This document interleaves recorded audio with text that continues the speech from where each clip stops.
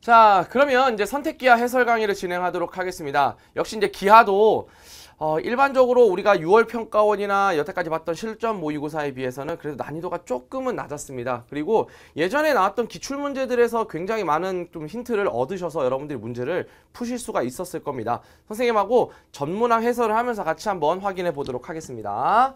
자, 23번 해보도록 합니다. 자, 지금 두 점이 있는데 A라는 점이 지금 A, 1, 마이너스 1이고 그 다음에 B라는 점이 마이너스 5, B, 3입니다. 그럴 때 얘네들의 중점의 좌표가 8, 3, 1이래. 자, 중점은 이 x좌표의 합의 값이 이 좌표의 두배 y좌표도 마찬가지로. 그죠? 그래서 첫 번째 a-5의 값이 8을 두배 하니까 16이 됩니다. 그래서 a는 21 이렇게 될 테고 그 다음 두 번째 b는 1 플러스 b가 요거 두배 하시면 되니까 6 되겠네. 그래서 b의 값은 5 가시면 됩니다. 자 그러므로 우리가 찾는 a 플러스 b의 값은 26 이렇게 정리해 주시면 되겠습니다. 뭐 그렇게 어렵진 않았죠? 자, 그 다음에 24번. 역시 6월 평가원에서 접선의 방정식에 관한 테마가 출제가 됐었기 때문에 실제로 접선의 방정식이 또 나오게 됐습니다. 그래서 아주 기본적으로 나온 것 같아. 자, a제곱분의 x제곱 마이너스 y제곱은 1. 이것 위에 점 2a, 루트 3에서의 접선이 y는 마이너스 루트 3x 더하기 1과 수직이다. 자 그러면 일단 첫 번째 y는 마이너스 루트 3x 더하기 1과 수직이니까 이 직선의 기울기, 이 접선의 기울기는 루트 3분의 1 이렇게 정리가 될 겁니다. 자, 그 다음에 이제 우리 접선의 방정식 구하자. 자, a 제곱분의 x좌표가 2a니까 2ax 마이너스 루트 3y는 1 이렇게 가시면 되겠습니다. 자, 여기서 기울기 찾자. 자, 기울기는 얘가 넘어가서 루트 3으로 나누니까 루트 3에 자 우리 요거 a도 0이 아니므로 약분이 가능하지. 자 a분의 2 요렇게 정리가 가능합니다. 자 그래서 우리 기존의 기울기 루트 3분의 1과 루트 3분 루트 3 a분의 2가 서로 같아야 되니까 우리가 찾는 a 값은 2 요렇게 찾아주시면 되겠다. 그죠? 자, 그 다음에 25번 도 가보도록 합니다. 25번 지우고 갈까? 자, 일로 갑시다. 이렇게 어렵진 않았을 겁니다. 아주 기본적인 정의에 의해서 여러분들이 하실 수 있었던 내용. 자, 얘는 실제로 뭐 여러분들이 다 그릴 필요가 없습니다. 자, 여기 X축이 있고 여기가 F 프라임이 있고 그 다음에 여기가 F야. 그럴 때 여기 A점 요렇게 있고 쭉 와서 만나는 점, 요 점을 A점이라고 했습니다. 그 다음에 이제 요 점의 좌표가 P가 돼서 이렇게 연결해 주시면 되겠네.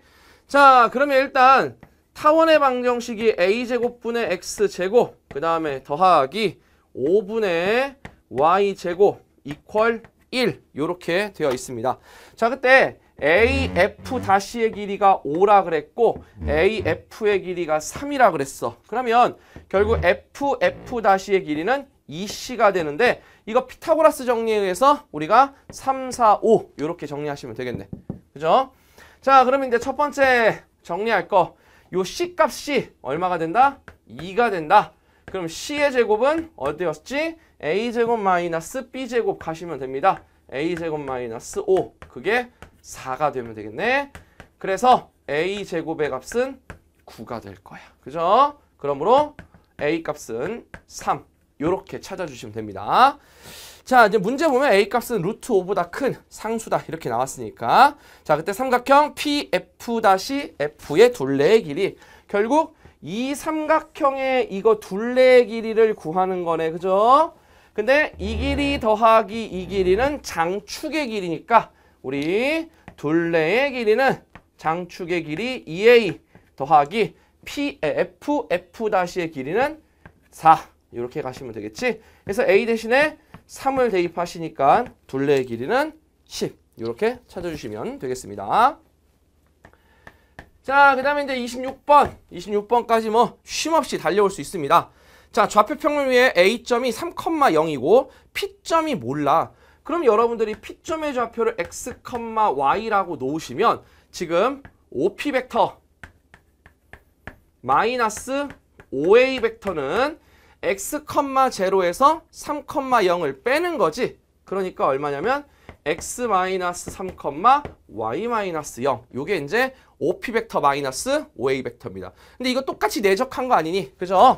그래서 원의 방정식이 되는 거야. 자, 그럼 얼마? 똑같은 거를 두 번 곱하니까 x 3의 제곱 더하기 y의 제곱의 값이 5. 즉 중심이 3, 0이고 반지름이 루트 5인 원이 되겠네.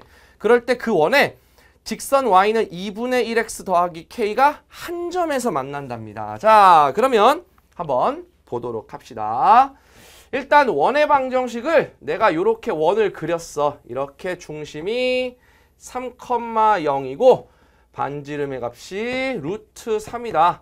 근데 여기에 접하는 원이 당연히 두 개가 있겠죠. 뭐 이렇게 하나가 있다고 칩시다. 자, 얘가 y는 2분의 1x 더하기 k야.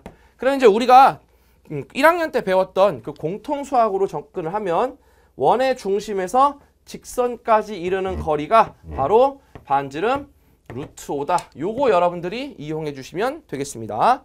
자 그럼 직선의 방식 양변에 2를 곱해서 정리하면 x-2y 더하기 2k가 제로 요렇게 정리가 되겠네요. 이거 마이너스 2 곱해서 넘겼으니까 그리고 3,0에서 이르는 거리를 구하시면 돼. 자, 거리 D는 반지름 R과 똑같고 자, 루트 공식은 A제곱 더하기 B제곱이지 1하고 2를 제곱해서 더하니까 5분의 3,0을 집어넣으면 돼. 그래서 3 더하기 2K의 절대값 그 값이 루트 5 요렇게 정리하시면 되겠습니다. 근데 문제에서 뭐라 그랬냐면 양수 K의 값을 구하라 그랬네. 그치? 갖다 곱하시면 돼. 자 그러면 절대값 2k 더하기 3의 값이 5가 되는데 그럼 이 2k 더하기 3이 플러스 마이너스 5가 돼야 되는데 실제로는 마이너스 5가 되면 음수가 되니까 안 되겠네. 그래서 2k 플러스 3의 값이 5가 되면 되겠습니다. 그러므로 k 값은 1 요렇게 찾아주시면 되겠네. 됐죠? 정답은 1이었습니다.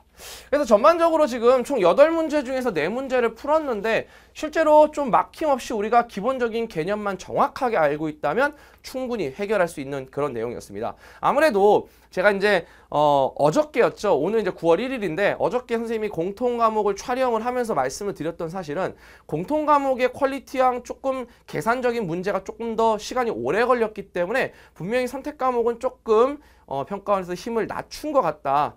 그래서 이제 여러분들이 선택 과목에서 좀 점수를 좀 많이 얻으셨어야 되지 않았을까 개인적으로 생각합니다. 자 나머지 네 문제도 한번 풀어보도록 합니다. 자 갑시다. 자 이제 26, 27번부터 또 한번 해보도록 하겠습니다. 음.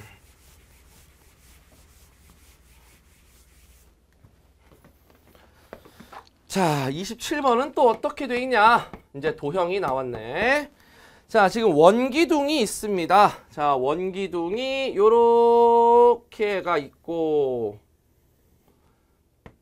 원기둥 이렇게 예쁘지가 않네 자, 자 요렇게 원기둥이 있습니다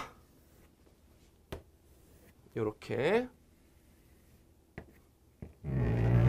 자 그런데 그 원기둥의 밑면의 반지름의 길이가 4고 높이가 3이래. 그죠? 자, 그때 선분 AB가 원기둥의 밑면의 지름이랍니다. 자, 그러면 무슨 뜻이냐면 AB가 이렇게 지나가고 있는 거야. 그죠? 자, 요점의 좌표를 A, 요점의 좌표를 B라고 할게. 그럼 원지름의 반, 원, 원 기둥의 반지름의 길이가 4였으니까 AB의 지름의 길이는 8이 되겠네. 그죠? 자, 그런 다음에 지금 CD는 다른 밑면의 둘레 위에 서로 다른 두 점이래. 그때 네 점이 있었다. 자 여기에 뭐 대충 C점이 있고 여기에 지금 대충 D점이 있다. 자 이렇게 정리가 되어 있습니다. 자 그럴 때 선분 CD의 길이를 구하는 겁니다. 오케이 우리 얘 길이 구하는 거네. 자 근데 문제에서 뭐라 하냐면 삼각형 ABC의 넓이가 16이다. 자 일단 삼각형 ABC는 이렇게 그리셔야겠네. 그죠? 자, 그럼 옆으로 좀 갖고 와서 좀 설명을 하도록 하겠습니다. 자, 먼저 첫 번째. 자, 이런 식으로 AB가 되어 있고 그 다음에 C점의 좌표가 여기 있습니다. 그래서 이렇게 삼각형 ABC가 있다. 그럼 일단 밑변의 길이가 우리가 8이었으니까 당연히 뭘 찾아야 돼? 높이를 찾아야겠지. 수선의 발 때리시면 됩니다. 그렇죠? 그럼 이제 여러분들이 여기서 이제 하셔야 될 게 뭐냐면 삼수선 정리야. 자, 내가 여기 C라는 점에서 얘에다가 수선의 발을 때렸어. 밑에다가. 그럼 수선의 발 때리면 얘가 쭉 오셔서 여기가 수직이 될 거야. 요 점의 좌표가 C 다시. 그 다음에 지금 우리는 높이를 구하는 거니까 주황색은 여기에 이렇게 수직이 될 겁니다. 됐죠? 그런 다음에 또 뭐 해야 돼? 삼수선이니까 여기서 여기다가 수선의 발을 내릴 수가 있네. 그럼 보라색 길이는 이렇게 정리가 될 겁니다. 이해되시죠? 자 그러면 이 파란색 길이는 얼마야? 3이고 자 우리가 삼각형의 넓이 ABC의 넓이가 2분의 1 곱하기 자 우리가 요 점을 선생님이 요 수선의 발 점을 H라고 하고 이 수선의 발을 H라고 하겠습니다. 자 밑변 8 곱하기 높이 CH 그게 16이 돼야 합니다. 그죠? 그러므로 우리가 찾는 선분 CH의 길이가 4 이렇게 정리가 되겠네. 아 그러니까 얘가 4네 그냥. 그럼 얘가 4면 16에서 9를 빼니까 7이므로 얘가 루트 7이 될 겁니다. 이해되십니까? 근데 이제 나 조건에 뭐라 그러냐면 두 직선 이 AB하고 CD가 평행하대. 그럼 무슨 뜻이냐면 잘 봐. 나는 지금부터 얘가 여기다 수선의 발 때렸으니까 얘도 여기다가 수선의 발을 때렸어. 그럴 때 연결하는 이 CD의 길이하고 당연히 이 CD-의 길이가 똑같을 겁니다. 근데 얘랑 얘가 평행하니까 당연히 얘네 둘도 서로 평행할 수밖에 없겠네. 그럼 이제 어떤 상황이 되냐? 자, 두 번째 이런 상황이 될 겁니다. 자, 밑면은 원기둥이니까 원이 될 테고 자, 선생님이 여기에 지름이 이렇게 지나가야 돼. 얘가 AB라고 한다면 정확하게 수선의 발을 때린 요 놈들이 바로 CD가 되고 이 CD의 길이가 당연히 평행하니까 얘네들하고 서로 수직인 관계가 되며 자, 이 보라색의 길이 이미 우리 구했어. 이 보라색의 길이와 이 보라색의 길이는 똑같을 수밖에 없습니다. 서로 평행하니까. 이해되셨나요? 그러면 자, 이제 우리 끝났어. 자, 이 보라색 길이가 얼마였었어? 루트 7이었어. 나는 지금부터 얘가 원의 중심이니까 이렇게 연결하시면 이 길이가 얼마가 됩니까? 4가 돼. 그러면 여러분들이 찾는 요 길이는 아까 저 삼각형이랑 똑같네. 얘가 3이 되겠네. 그럼 얘도 3이 되겠네. 그래서 여긴 다시였네. 선분 C-D-의 길이가 6이니까 정확하게 수선의 발로 올라간 선분 CD의 길이도 6이 되겠습니다. 그래서 정답은 6 이렇게 가시면 돼요. 실제로 요거는 여러분들이 삼수선 정리만 이용하시면 충분히 해결할 수 있었던 그런 내용이었습니다. 뭐 어렵지 않았습니다. 자, 그 다음에 이제 28번 갑니다.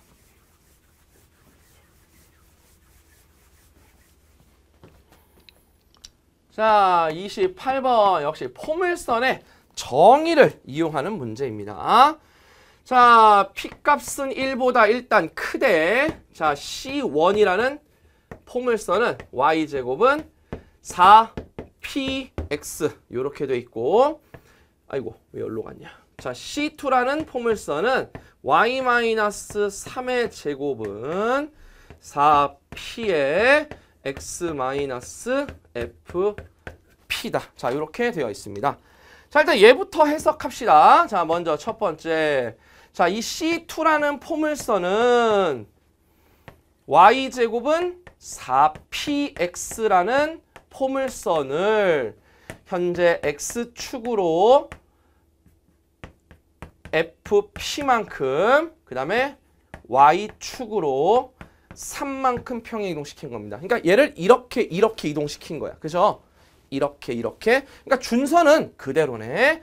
자 그러면 우리가 찾는 이 C2의 준선은 원래 x는 마이너스 p였습니다. p가 1보다 크다 그랬으니까 그걸 x축으로 FP만큼 평행 이동시켰기 때문에 마이너스 P 플러스 FP 이렇게 정리가 될 겁니다. 자, 이제 그럴 때 이제 그래프 개형을 한번 봅시다.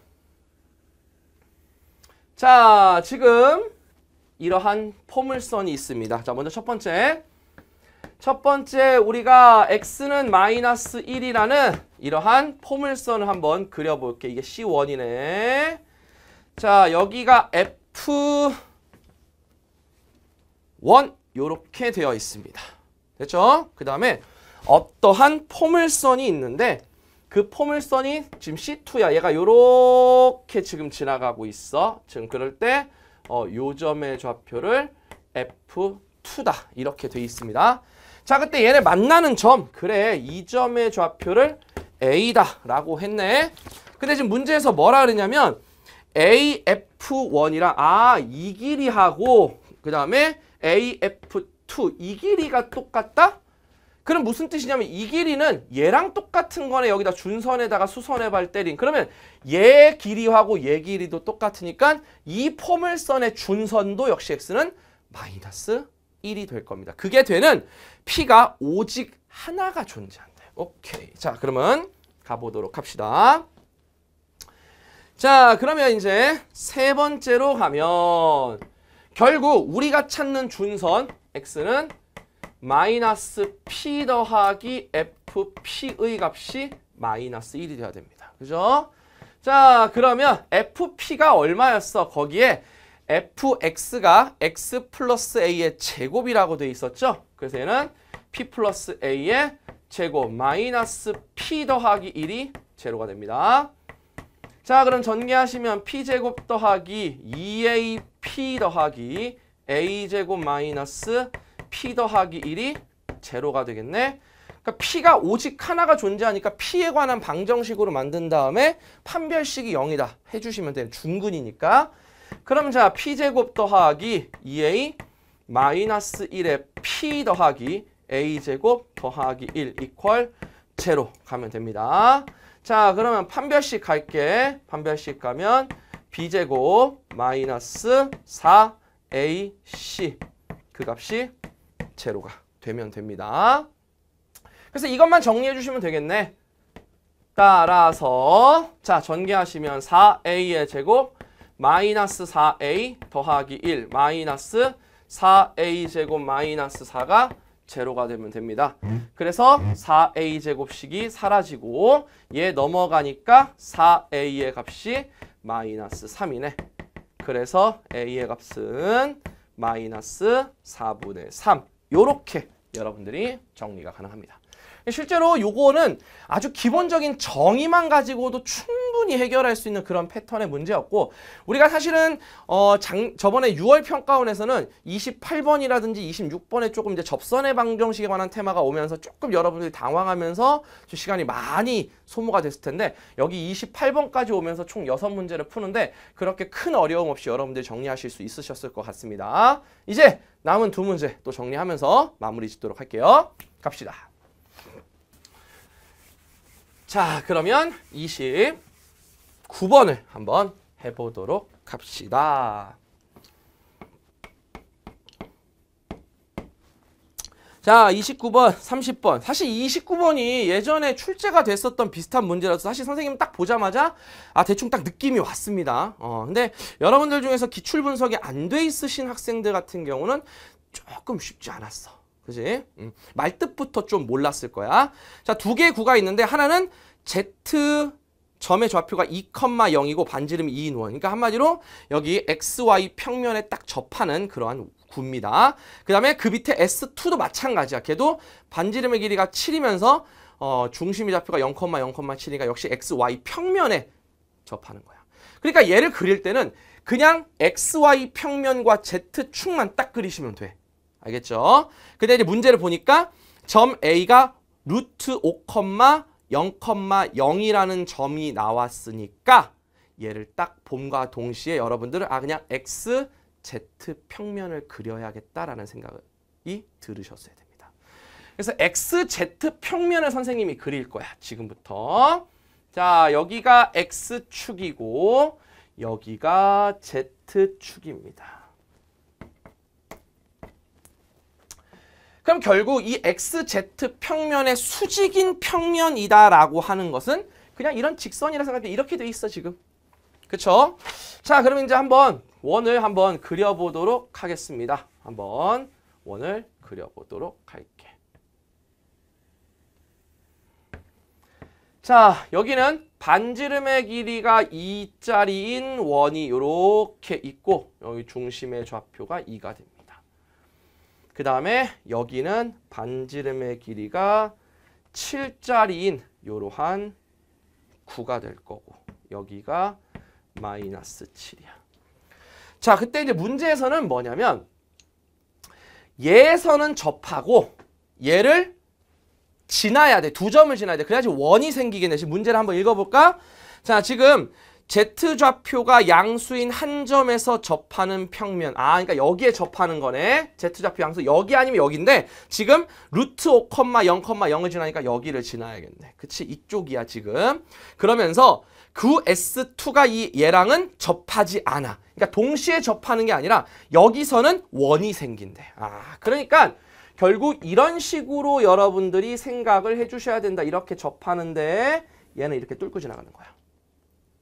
그때 여기에 지금 이렇게 원이 생기는 거야. 그때 이 원이 C입니다. 그리고 나서 문제는 뭐라 그러냐면 이 원 위에 Z좌표가 최소인 점. 요거 Z좌표 최소 여기가 B네. 요 점이 B일 때 요게 평면 알파야. 그럴 때 얘하고 접하는 평면 그러니까 여기서 접선을 그려주시면 돼. 이렇게 접하는 평면 얘가 평면 베타가 될 겁니다. 그때 이 원C를 이 평면의 정사형을 때리는 거예요. 그러니까 우리는 요각 세타를 찾으시면 돼. 이거. 그래서 요 당연히 원의 반지름도 구하셔야 되고 이거 원의 반지름 구해서 코사인 세타 구하시면 되겠습니다.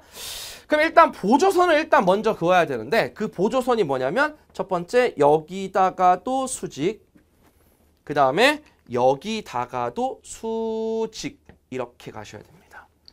그러면 재미난 사실이 자 봐봐 얘가 수직이니까 얘가 세타이므로 얘는 2분의 파이 마이너스 세타고 얘가 90이니까 야 thank you 얘가 세타입니다.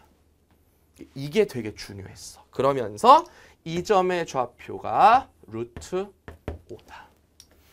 그럼 결국 우리는 이거 지금 파랑색의 길이는 7이라고 주어졌는데 이 보라색 길이만 구하면 이거 코사인 세타도 나오고 이 길이도 나오니까 이 원의 넓이도 나오는 거야. 결국 우리는 여기서부터 여기까지 길이를 구해야 돼. 근데 그게 누구다? 이 직선과 원의 중심 사이의 거리고 그건 또 어떻게 구하냐? 여기서 수선의 발을 때리시면 돼. 근데 이제 얘는 접점이고 얘는 접점이 아니기 때문에 얘네들은 일단 뭐야? 닮음은 아니야. 그러니까 어디로 가야 돼? 저 위쪽으로 가야 돼. 그래서 위쪽으로 가서 직각삼각형의 닮음으로 여러분들이 가주셔야 됩니다. 자 그러면 한번 뭘 구하셔야 되냐? 역시 얘도 접선의 방정식이었어. 자 얘는 Z축이니까 Z의 값이 기울기 M에 x 마이너스 루트 5라는 이러한 방정식입니다.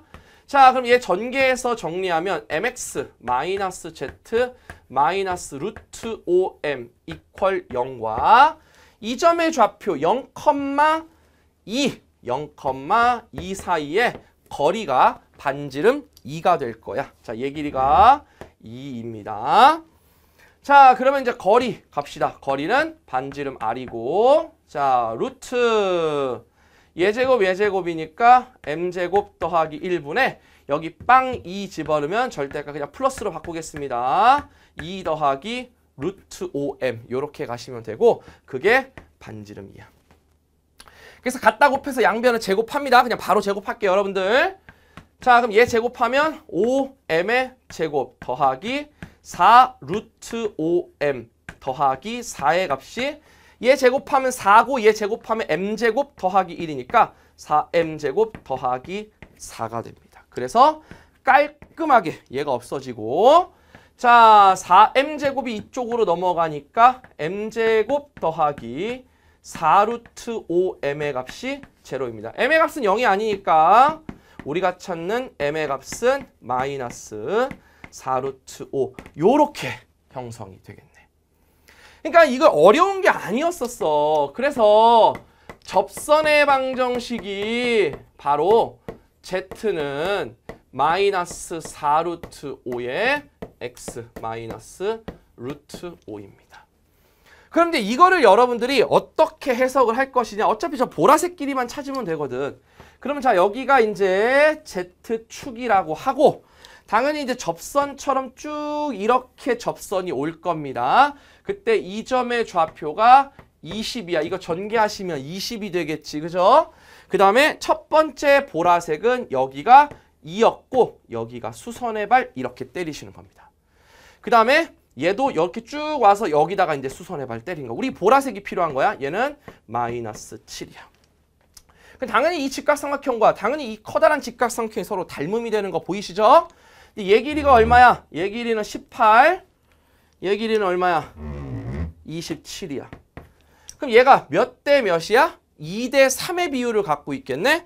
근데 여기서부터 여기까지 길이가 정확하게 2였으니까 thank you 얘가 3이 되는 거야. 그러니까 이거는 접선의 방정식을 활용하는 문제였고 지난 6월 평가원에도 접선의 방정식이 두 개가 나왔듯이 여기도 28번하고 29번 두 개가 나왔네. 그죠? 그럼 저쪽 그림으로 갈게. 자 그럼 얘가 지금 딱 3이 나왔어. 끝.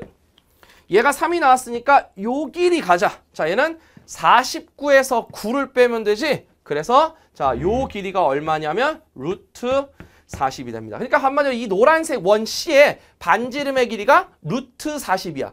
그럼 원의 넓이는 그냥 40파이. 되겠죠? 그 다음에 얘는 코사인 세타가 7분의 3이니까 코사인 세타 그대로 갖다 적용시키시면 됩니다. 오케이? 자, 정리하자. 자, 그래서 우리가 찾는 정사영은 원의 넓이 40파이에다가 코사인 세타 7분의 3을 곱하시면 되니까 정답은 7분의 120파이 요렇게 가시면 됩니다. 그래서 P 플러스 Q의 값이 127 요렇게 여러분들이 찾아주시면 되겠습니다. 그래서 전반적으로 이거는 아, 예전에 이제 기출 문제로서 많이 출제가 됐었던 테마라서 여러분들이 좀 기출 분석만 정확하게 다 되시면 좀 어, 문제를 좀 쉽게 풀지 않을까. 어쨌든 기하는 29번하고 30번에 관한 유형이 이제 최근의 기출 유형에서 이제 조금 이제 어, 벗어나서 예전에 있는 기출들을 좀 많이 가까우면서 여러분들 보여주는데 실제로 수능 때는 어쩔지 몰라. 그래서 기출을 일단 잘 보시면서 6월 달에 나왔던 문제, 그 다음에 3월 달, 4월 달, 7월 달에 나왔던 교육청, 그리고 앞으로 보게 될 10월 교육청까지 여러분들이 좀 참고해 주셔서 어, 여러분들 기하를 공부해 주시면 좋을 것 같습니다. 오케이? 자, 이제 마지막 30번을 가보도록 하겠습니다. 자, 이 30번은 뭐 그래 뭐 자취를 가지고 계산하는 그런 유형이었어. 그래서 어, 실제로 어떻게 보시면 어디서 많이 본 것 같은데 라는 생각도 가지신 사람도 있겠지만 실제로는 어 이거 하나씩 하나씩 하나씩 하다 보면 그래도 그렇게 어렵진 않았던 테마 중에 하나였다고 생각을 합니다. 자 30번 갑니다. 하나씩 하나씩 해석을 해보도록 할게. 자 지금 A점의 좌표가 마이너스 2,2고 B점이 2,1에 정확하게 Y축 대칭이네. 자 그럴 때 지금 AX 벡터 마이너스 2 곱하기 B X 벡터 크기 마이너스 2 그게 0이면서 OX 벡터의 크기가 2보다 크거나 같다. 자 일단 얘부터 분석합시다. 그럼 무슨 뜻이냐면 ax 벡터의 크기가 2이거나 bx 벡터의 크기가 2가 되고 and ox 벡터의 크기는 2보다 크거나 같아야 돼. 그러니까 원점에서 이 x, x라는 점의 자취가 a라는 점으로부터 이만큼 떨어져 있기 때문에 그냥 얘는 원이야, 원. 그쵸? 자, 그러면 한번 그려보자. 자, 여기 자, 여기 이렇게 있습니다. 자, 이 점의 좌표가 마이너스 2, 아이고 너무 많이 갔다.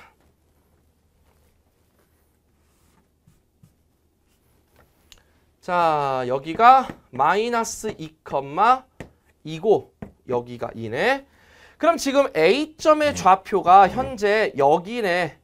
그 다음에 B점의 좌표는 여기야. 그러면 이제 ax 벡터는 얘를 중심으로 거리가 이만큼 되는 점의 자취니까 그래 딱 반지름이 2가 되는 원 위에 있는 점이 되겠네. 그 다음에 얘도 마찬가지로 bx 벡터가 2라고 하는 얘기는 b를 중심으로 반지름의 길이가 2인 원의 자치. 이 노란색 위로 움직이는 게 바로 x라는 점의 자취가 될 거야. 근데 여기에 이 OX 벡터의 크기가 2 이상이다. 그럼 OX 벡터는 뭐야? 바, 중심이 0,0이면서 반지름의 길이가 2 이상이잖아. 그럼 경계선을 만들어 반지름이 2라고 해. 반지름이 2니까 요러한 또 원이 될 거야. 그러니까 얘보다는 바깥쪽으로 가야 되는 게 맞지. 그죠? 그래서 아 우리가 찾는 X 벡터의 자취는 요만큼만 되는 거야. 자, 요만큼만 되는 거야. 자, 요렇게. 이렇게. 그리고 얘도 요렇게. 요만큼만 딱 되는 거야. 그치? 여기 위에 지금 x가 있는 거야. x의 자취. 그래서 첫 번째 이 조건을 보시자마자 여러분들이 x가 여기 위로 움직이겠구나라는 생각을 딱 해주셨어야 돼. 알겠습니까? 이게 첫 번째 조건이었습니다. 자, 그 다음에 이제 두 번째 조건은 뭐냐면 지금 이 x가 나타내는 도형 위로 움직 아, 이 빨강색 위로 움직이는 점이 또 pq가 있대네. 자, 그때 가조건을 보시니까 자, u 벡터는 1,0래. 아, 1,0니까 뭐 요쪽 방향, 오른쪽 방향의 벡터네. 자, 그럴 때 OP 벡터 내적 U 벡터 곱하기 OQ 벡터 내적 U 벡터가 0보다 크거나 같다는 얘기는 얘가 1,0이니까 얘가 OP 벡터 P가 여기에 있든 여기에 있든 만약에 얘가 플러스고 얘가 마이너스면 얘가 플러스 곱하기 1이고 마이너스 곱하기 1이니까 얘는 음수가 될 거야. 그치? 그러면 0보다 크거나 같다가 성립하지 않지. 그러니까 이거를 딱 보자마자 얘도 해석을 하실 수 있었어야 돼. 자, 두 번째. 이 가족권을 보면서 아, 이 P하고 Q의 어차피 얘가 1,0이니까 Y좌표는 신경 쓸 필요가 없어. Y좌표는 0이 되니까 얘의 X좌표가 무조건 플러스 플러스가 되거나 또는 마이너스 마이너스가 돼야 돼. 그러니까 봐봐. PQ가 이렇게 PQ가 있던가 이렇게 PQ가 있어야 돼. 이런 식으로 PQ가 있으면 안 된다는 얘기야. 무슨 말인지 알겠지? 아, 요게 이제 힌트였어. 아, 여기에 PQ, PQ, PQ, PQ, PQ, PQ. 그러니까 결국 PQ가 생길 수 있는 경우는 이렇게 두 가지가 된다라는 생각을 여러분들이 갖고 가셔야 돼. 알았지? 이게 이제 나 조건이었어. 가 조건이었어. 자, 그 다음에 이제 나 조건 갑시다. 나 조건을 보시니까 오케이. 그러면 PQ 벡터의 크기는 2가 된다. 자, 그럼 얘도 한번 보자. PQ 벡터의 크기가 2란 얘기는 자, 세 번째 이제 갑니다. 일단 저 오른쪽에 있다고 할게. 예를 들어서 그러면 여러분들이 뭐 여기에 요렇게 요렇게 내가 만들었어. 그래서 요러한 원이 이렇게 그려졌다. 여기에 지금 자취가 있는 거야. 여기 지금 빨강색 위에 지금 PQ가 있는데 그 PQ에 거리가 2가 돼야 돼. 그럼 PQ의 거리라는 얘기는 뭐 예를 들어서 P하고 Q가 이렇게 있으면 얘네 거리가 2가 돼야 된다는 얘기야. 뭐 이것만 있는 게 아니라 이런 식으로도 올 수가 있겠지. 그럼 결국 원에서의 현 아니니? 그래서 원에서의 현이니까 여러분들이 제일 먼저 하셔야 될 게 당연히 이렇게 이등변 삼각형을 만들어야지. 근데 이거 정삼각형 아니냐? 왜냐하면 얘도 이고 얘도 이고 얘도 이니까 정삼각형이네. 결국 원의 중심에서 이 현까지 거리는 현을 수직 이등분하고 음. 이 길이가 바로 루트 3일 때만 가능한 거야. 그래서 결국 루트 3이 되는 점의 자취만 여러분들이 찾으면 PQ의 길이를 다 찾을 수 있어. 그러니까 오른쪽도 될 수 있고 왼쪽도 될 수 있는 거야. 두 가지가 존재하겠죠. 자, 그런 다음에 이제 진짜 우리가 구해야 될 게 뭐냐? OI 벡터야. OI 벡터는 선분 OP 벡터 더하기 OQ 벡터래. 그때 Y의 집합이 나타내는 도형의 길이. 자, 다 됐습니다. 이거 딱 보시자마자 너희들이 느꼈어야 돼. 뭐야? 자, O y 벡터는 얘는 PQ의 딱 중점으로 가는 벡터의 두 배 아니니? 그래서 두 배의 O M 벡터입니다. 그 중점이 어디야? 여기네. 하, 여기가 M이네. 그럼 결국 저 M 벡터의 자취를 지금부터 찾아야 된다는 얘기지. 자, 그러면 이제 한번 가보도록 합시다. 선생님이 이렇게 그렸어. 지금부터. 자, 이렇게 그렸습니다. 자, 이렇게 지금 x의 자취가 있어. 여기는 이런 식으로 일단 그려놓을게. 여기가 이제 x 벡터의 자취입니다. 자, 그 x 벡터 자취 위에 선분 PQ의 길이가 2가 되는 놈을 만들어야 돼. 자, 2가 되는 놈은 일단 여기서부터 2가 되는 놈을 만들 수가 있어. 왜? 여기서부터 시작이니까.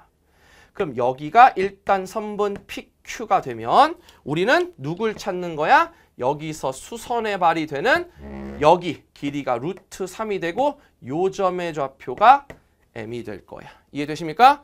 그럼 얘가 어디까지 가는 거야? 여기까지 오는 거야. 자, 여기에 PQ 거리가 2가 되면 얘는 쭉 와서 수직 2등분이 되는 요 점이 m이 될 거다. 그럼 m점의 좌표는 얘가 이제 이렇게 이동하니까 얘도 이렇게 이동하니까 결국 원이 되겠네. 이러한 원.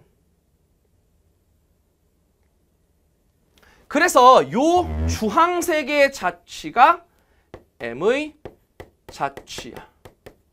근데 우리는 m의 자취의 두 배를 한 게 y의 자취 아니니? 그지? 어, 조금만 더 땡겨 와주세요. 자, 그러면 봐봐. 결국 우리는 요 호의 길이를 이거 부채꼴이잖아 결국. 이 부채꼴의 호의 길이에다 그냥 두 배를 하면 우리가 찾는 y의 자취인데 이쪽이랑 저쪽이랑 두 개가 있잖아. 또 2를 곱해야 돼. 그지? 자, 그럼 봐봐. 이제 각을 찾아보자. 자, 얘는 어차피 직각 90도고 얘 30도, 얘 30도야.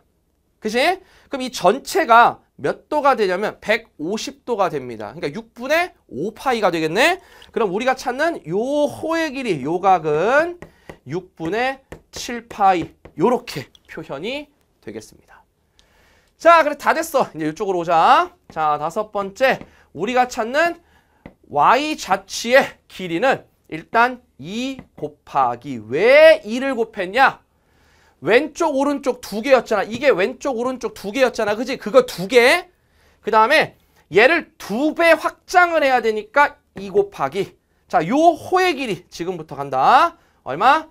반지름 루트 3의 중심각 6분의 7파이. 요렇게 가시면 우리가 원하는 y라는 놈의 자취의 길이가 나오겠네.